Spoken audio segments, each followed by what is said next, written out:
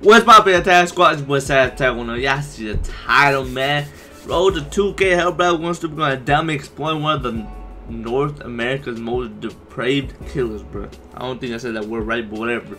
But Road to 2K, man, I've been a little bit on my second channel as well. If you want to check that out, it's in the link, the description. But it's 27 minute videos. Get straight into it. That subscribe button if y'all like this. If y'all like this crime type reactions because it's in the closet. But what if I changed that to a skeleton in my freezer? Sadly, in January 2018, this was a harsh reality that the community of Oshawa would be faced with, sending shockwaves throughout the entire city. And as investigators dived into this grisly case, newly discovered DNA would confirm that they had found more than they had bargained for. However, despite finding multiple victims within the House of Horrors, a narcissistic killer would make himself the main protagonist of the show. Damn. Or so he thought. But who was this twisted and violent man? How did he commit such lie, horrendous like actions? and lie. most crucially, like if you watch like who and where were his victims? down in order. Good morning, good afternoon, or good evening, folks. My name is Adrian. Y'all and hear about that submarine that got uh they can't find type shit? I seen it earlier. I just scrolled past it type shit, but I see like a little. I didn't really look up on it. I might check out a video. It's like a submarine that they can't find. That she got lost underwater type shit. Only Hey, got 40 we're hours at a of particularly breathing. harrowing case. now, like that, for all you so true crime enthusiasts out there, you may have heard of this case before Might have to that already. shit out. But I might react on my so many recent channel, developments so that it's certainly button. worth talking about again. By the way, welcome or welcome back to Coffee House Crime. I post true back. crime and strange cases as a new camera. Thank you to everybody who Oh, supports me on. Patreon. You I really do appreciate it. And I've used this month's earnings to to buy myself a new camera and lens. Um, ever since day one, I've been using a an iPhone. Um, not sure why it took me so long. Hey, that's W. Hey, y'all. Hey, hey, that's what's up. My boy got what? 1.72 million still using the same shit they started with. Hey, that's W. I know it's probably not what he started with. I don't know how long he's been doing this for, but like, hey, that's W. to, to change, but here we are. And yeah, thank you so much, guys. And now, with that said, please grab yourself a coffee, pull up a seat, and get ready for the deep dive. This is the case of Adam Strong. Adam Strong. Oh, I didn't say the case. Adam Strong. Welcome back to Canada, folks, and more specifically, the thriving city of Oshawa. Found on Lake Ontario and around 60 kilometers east of Toronto, this city has been in existence all the way back since 1842. The town was established when its first post office opened, being named after the native word for the crossing place. Eventually, Okay, Oshawa found itself becoming a city in 1924. Manufacturing has always been a core part of Oshawa's economy, with one of the most renowned companies, General Motors, operating in the area since 1876. Nowadays, this vibrant city is filled with a bustling arts and theatre scene, and hosts three major film festivals throughout the year. Parks are in abundance here too, with a total of 1,000 acres of nat throughout the year. Parks are in abundance. Yeah, that part look good.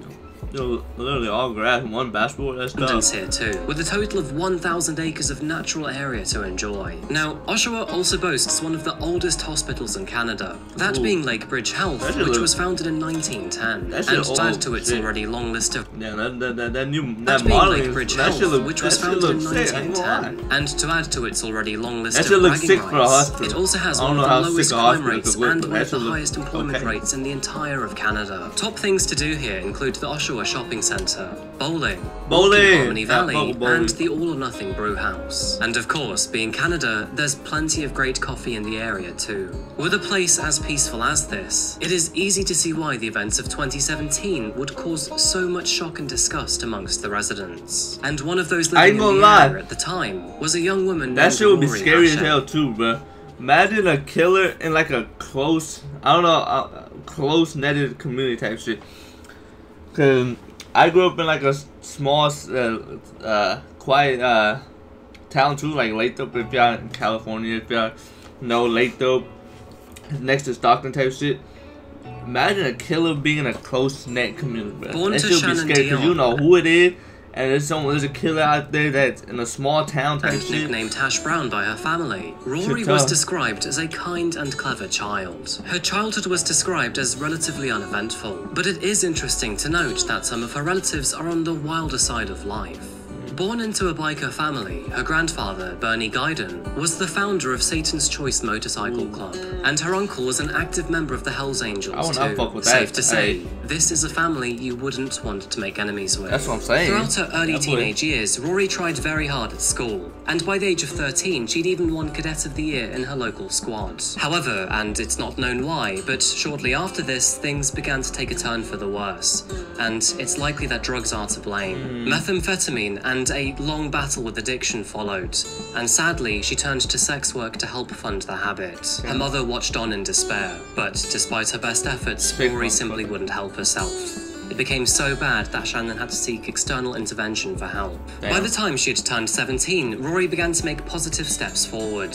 She'd found her own apartment, re enrolled into education, Nice. and even found love with a man named Tony. Things were finally looking up for her, which is probably why friends and family were confused when she suddenly disappeared. Hmm. Because in an instant, Rory had vanished. Damn. After If, experiencing so you tell me if the disappearance happened when she was doing all that drug shit, she was going downhill, they would have been like, ah, she disappeared type shit. But since she was going back up in her life, a mental like, relapse. Rory was taken to the hospital by a friend and her mother. Sadly, the pair couldn't stay with her. They left the waiting room relatively quickly after this, leaving Rory alone in the waiting room. However, she seemed to change her mind shortly after Ah. this, and around 15 minutes after sitting down, she got up and walked out of the hospital, a surveillance camera capturing her calmly walking away alone. I mean, you don't, you don't expect to the just the disappearance sections to. When she walking out, you don't expect nothing to happen, but you're in a hospital type shit. I understand. Whatever she was doing, or wherever she was going, only she knew herself. And tragically, this was the last time Rory Hache would be recorded on camera. As the hours went by, Damn. concern began to grow while her You silence just remained. disappear out of a hospital like that. There's cameras in the front, aren't there cameras in the back? Like, how do you just disappear type shit? That's my like what? How the fuck did you disappear in a goddamn hospital out of all places? And as those hours turned into days, others began to seriously worry. Shit don't make no The first person to finally alert the police was her guidance counselor, with her mother doing the same thing not long after. Extensive searches were carried out across the city by friends and family alike, but despite their best efforts, no clues or information were left behind in her absence. Hmm. Some suggested that perhaps she had run away and didn't want to be found. However, this theory did not make any sense to Shannon. She knew her daughter very well She was just and knew that something track. else must have happened. Two weeks later, and entirely disconnected from the case, a disturbing discovery was just about to be made. The date was. September the 11th, 2017, and at around the 11th. made. The date was September the 11th, 2017, Damn, and at around 8:30 p.m., an 11-year-old boy and his grandfather were peacefully fishing on the Oshawa Harbor, Oh, taking in the sunset and the summer's gentle dusk weather. in? It was at that moment that the pair saw something floating in Ah. the water. At first, they thought Of course, it my perhaps dumb. Of course, that shit would be floating. That shit would not be underwater. I'm so stupid. Well, my bad. This was a dead animal. But as they took a closer look, their stomachs began to churn. Floating before them was a human female torso, absent of a head or any limbs. And of course, they called the police immediately. As officers oh searched the water for any Oh other body parts, the Bro, news broadcast. like, bro, bro. That shit just that shit just makes me sick. You know what I'm saying? Like, there's one thing killing someone and then take cutting off their limbs, their head. Like, bro, come on, out to the bro. Oshawa public. However, frustratingly, as the weeks passed by, no conclusive DNA matches were found, and so the police were left with this mystery of who the victim was. It was kind of obvious that this was no accident. It would have to be pretty severe for this to be one. For months, there were no leads on who this person could be.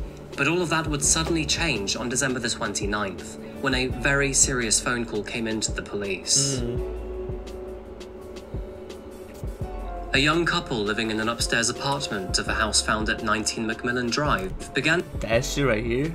That shit look crazy. Though. You go, that shit look like one story. to experience some rather unusual problems with their plumbing. To begin with, they were no longer able to drain the bathtub, and a few days later, a very foul smell started to rise Oh, from the no. drain. Understandably concerned, they decided to ask their downstairs neighbor if he was experiencing the same issue. And this Downstairs. neighbor Oh shit, my bad. Downstairs neighbor. being a very crucial person to today's case, and his name was Adam Jeffrey Strong. Having lived in this apartment for over 14 years, the 45 year old man was a very perplexing person. Not a vast amount is known about his early life, but he was living alone and seemed to keep to himself. The man was apparently a huge enthusiast for scuba diving and boats, and he had even worked as a security guard on several film sets. Saying that, he had managed to get himself fired from two of these jobs, but it's not actually clear or known why. There was nothing particularly appealing about Adam, and it seems like this was something that all women around him knew. His ex girlfriend allegedly cheated on him, leaving Adam mm. both hurt and angry. And it's reported by the few friends that he had that this was the point in his life where things began to go downhill. Ow. One ex partner of his described him as being extremely controlling and abusive. He would often force himself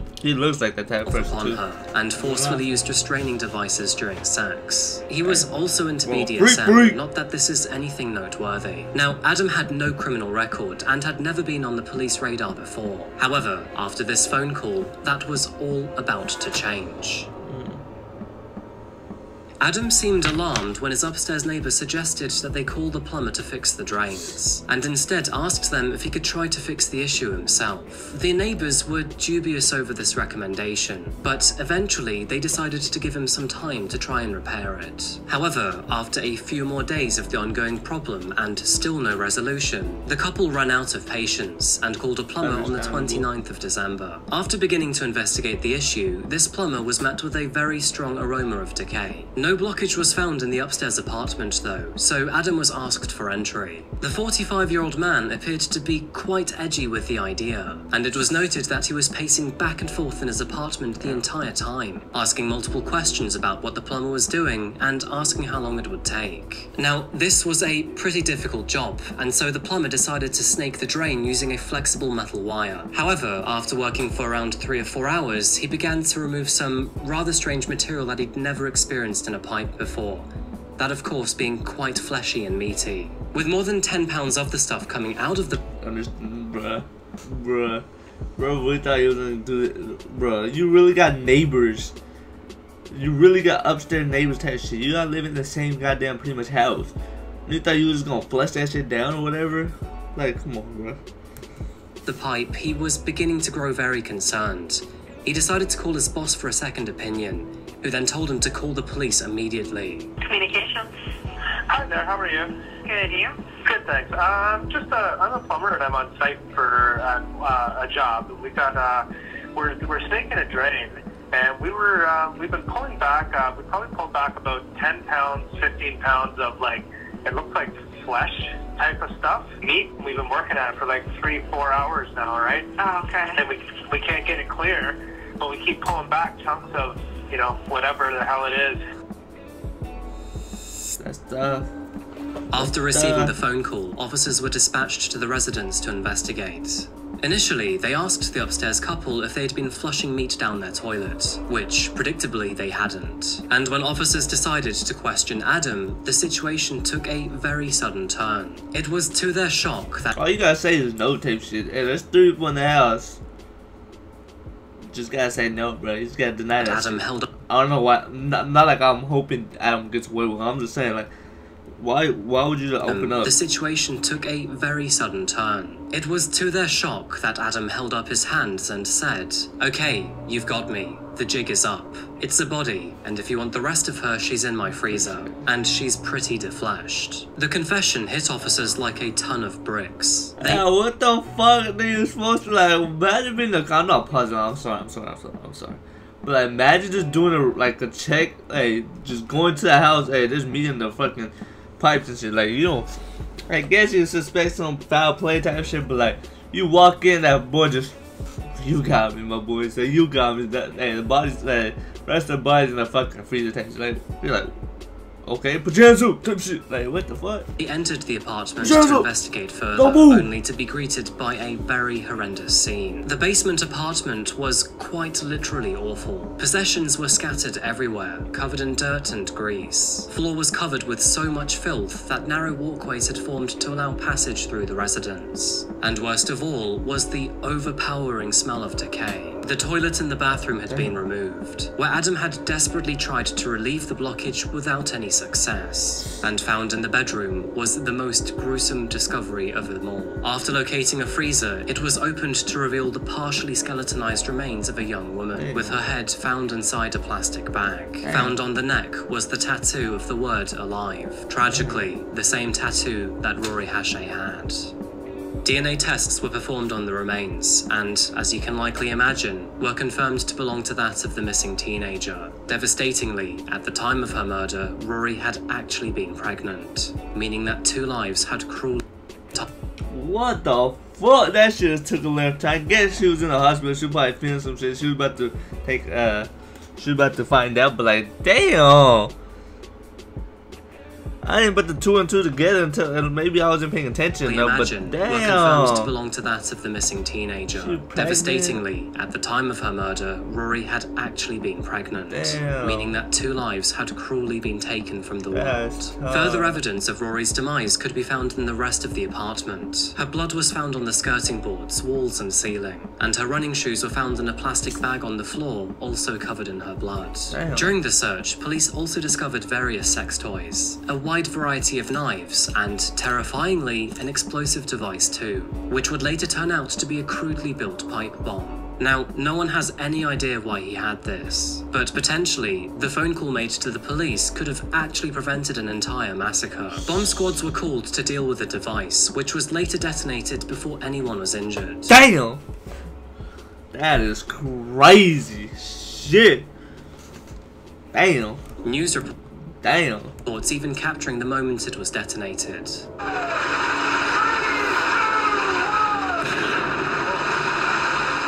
When the investigation continued, a bent hammer containing Rory's DNA was also found. And it's very likely that, tragically, this was the murder weapon. Adam was arrested that very day, but without any Oh, firm evidence of him actually committing the murder, he was only charged with interference of a dead body. This did, however, allow investigators to bring him in for interrogation, but sadly, he wouldn't give much away. Although he was interviewed for around an hour, it was with very limited success. He remained coy with any details, and even refused to engage with the officers beyond more than just basic questions. However, thankfully, this wouldn't be the only time he was interviewed. We will get to that later. Now, without a court order, investigators could not interview him any further. But thankfully, during his bail hearing, he was told he would be held in custody until his trial. Despite only being charged with interference of a dead body, the investigators knew that he was definitely guilty of far more. They just didn't know committed- what of. he But around seven months after me." Adam's initial arrest, a huge development came within the case, and it all centered around a major discovery at the crime scene.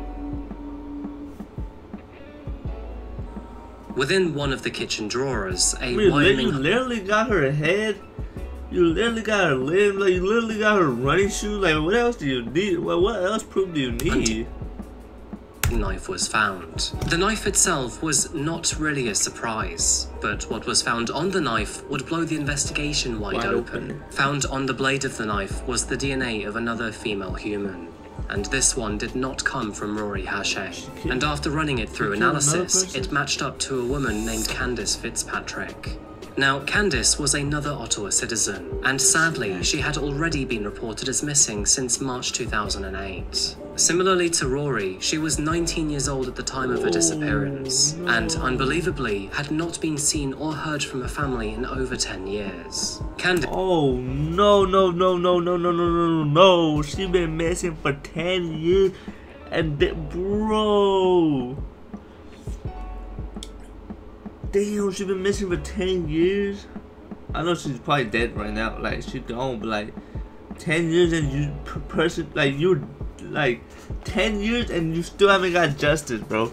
It's been ten years. That man just living life. He just killed another person type shit. Like, like if you go missing, you expect justice to be This served. Type was shit. also a troubled teen. Like if I ever get kidnapped type Bill shit, if I ever get killed, I'm expecting justice to be served to the motherfucker that did it. You know what I'm saying? Like, That's the type of mentality. on and off the streets, gone for 10 struggling with drug addiction and also turning to sex work. She too would often leave home for weeks at a time with little to no warning. And with both women bearing a strikingly similar history and physical appearance, the uncanny parallels were enough to send chills through the investigators. Now, given Candace's flighty lifestyle, those around her were not overly concerned whenever she disappeared for a short while. So, Okay, when she uh, suddenly vanished after walking on a journey to a nearby mall, initial worries were not that high. However, as hours of silence turned into weeks and then eventually months, mm-hmm. her father began to grow increasingly worried for her safety. Seriously, though, months? I have no idea why it took so long, but her That's what I'm saying, disappearance like, wasn't reported. Maybe you could have found her type shit if you were more worried, you know what I'm saying? Like, my parents would, hey, if I don't call my mom for like a day, if I'm on a trip or some shit, or a couple days, she's gonna trip. until 2010. This meant that most of the efforts to locate her safely were already pitifully small. Her father spent years searching for her, but sadly, all hopes were dismissed despite his best efforts. And tragically, 10 years later, the worst of his fears would be confirmed in Adam's apartment. Man, it's been 10 years, what the fuck do you expect? No way she, like, if she did this, like, come on, bro. Come on, bro. Like, what you expect? You literally wait a month to months after his arrest. Adam Strong a was once a again fucking brought long back in ass for questioning. time. Now, investigators knew that they had to be extremely careful with how they spoke to him, as the interrogation had to be admissible in court to be used by the prosecution. The detective began by making sure that all of Adam's needs were met during the 12-hour interview, which included cigarette breaks and even his Ew. favorite food. And Uh, cigarettes, bro, that's and let me tell you, some of the things he said in this interview were absolutely infuriating. Just a quick side note, but I am absolutely amazed at how much this guy ordered.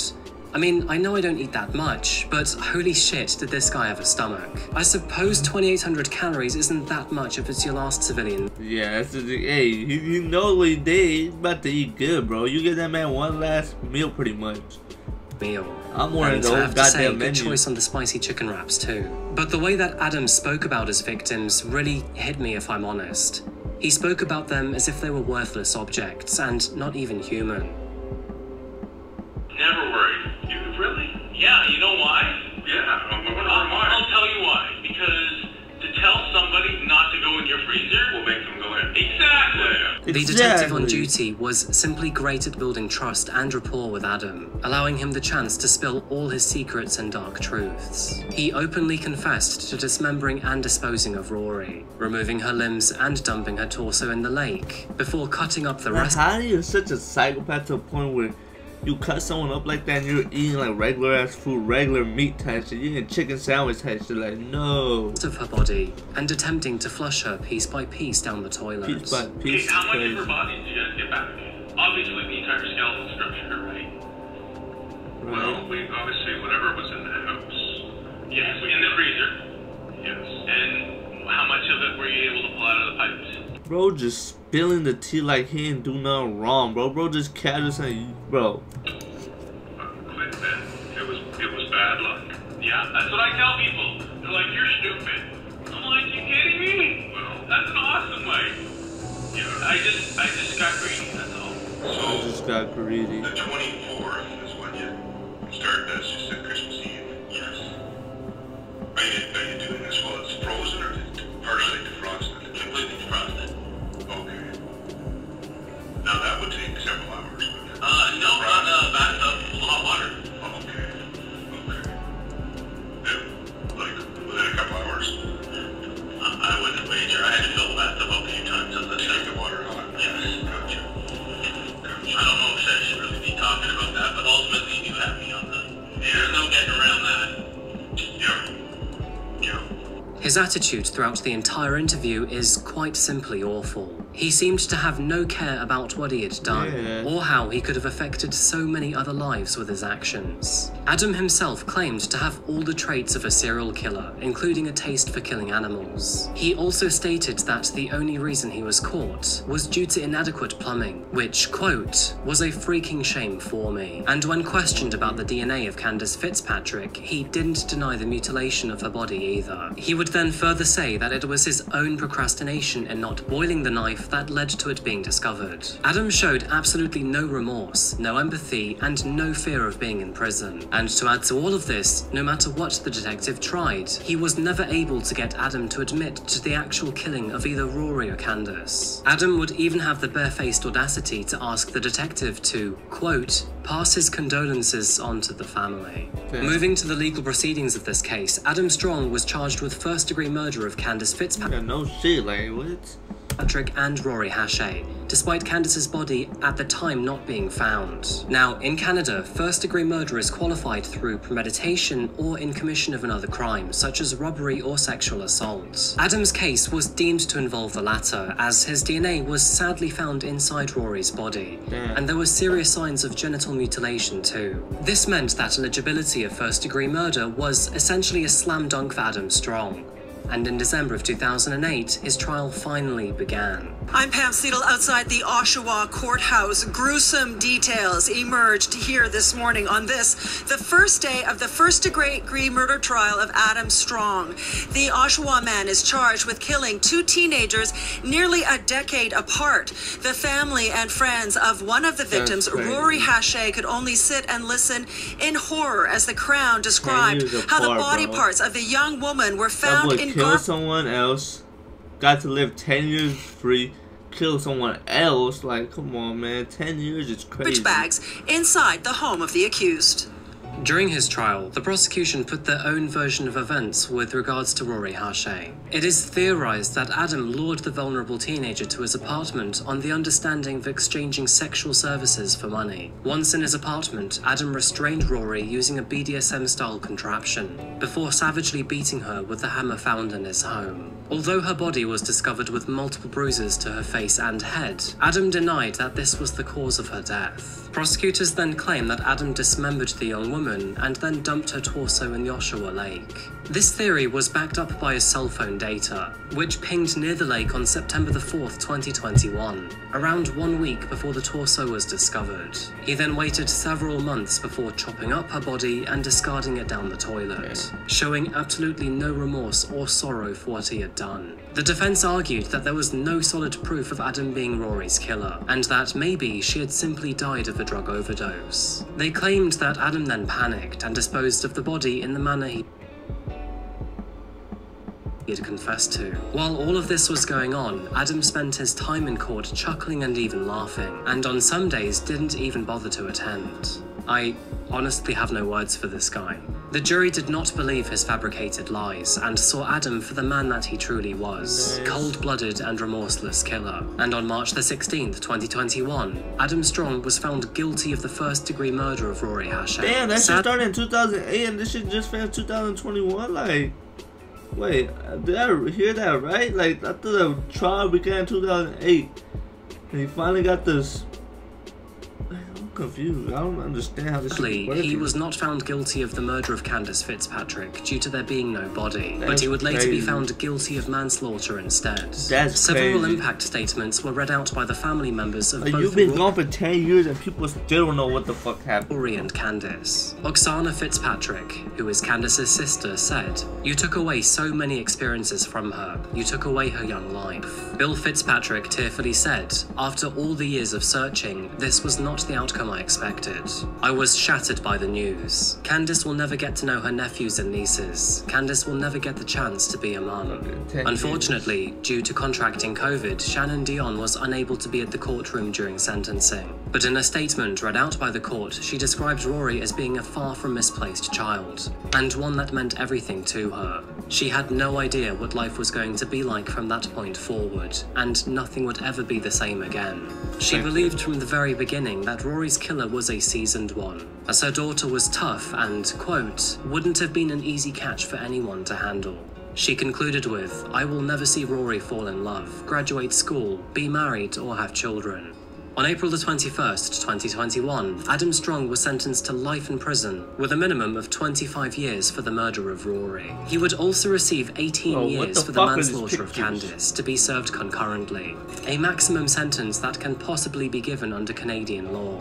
This means that Adam will be behind bars for a bare minimum of 43 years, with life as a maximum. The judge concluded the sentencing hearing by commenting how Adam showed no realistic signs of rehabilitation, given his behavior both in the interview and in the courtroom. The terrible man is now serving his time at the Joyceville Correctional Center. It does not change the fact that our girls are not coming home, but today we let them rest.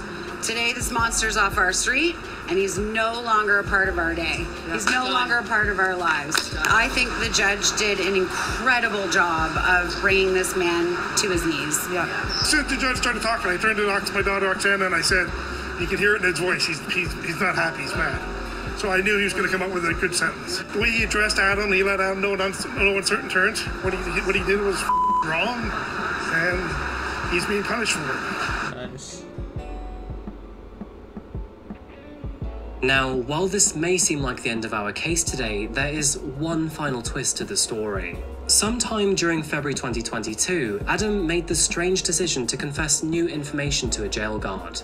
And if you haven't guessed what that was, it was the location of Candace Fitzpatrick's body. Police responded immediately by authorizing Adam to be taken to the gravesite so he could show them exactly where she was hidden. It was then in the area of Secreto Drive and Britannia Avenue East, and after 14 years of being missing, that the remains of Candace were finally found.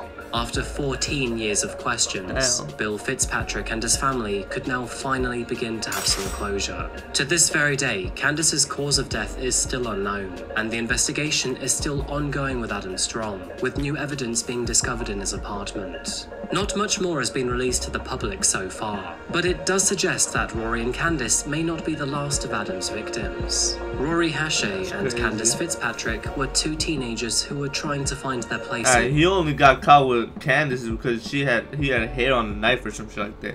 He wouldn't just have openly confessed about her. That's Wow. crazy.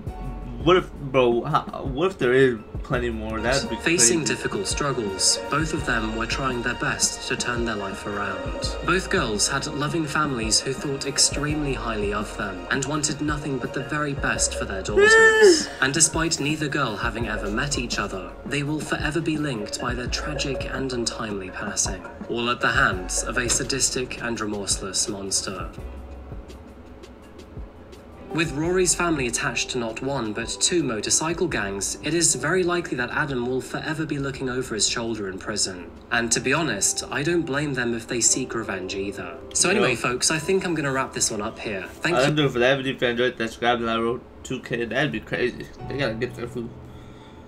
Or at least make his life miserable tasty. You know what I'm saying? Like, killing him low key would be an easy way out, but you gotta, like, make that man regret it for the rest of his life type shit. He in that shit for a minute, so yeah. That's just, hey, that's crazy though. 10 years of port. You- Bro, like they say, bro, how many? How do we know there's not more people, bro? That's crazy. But we out, man.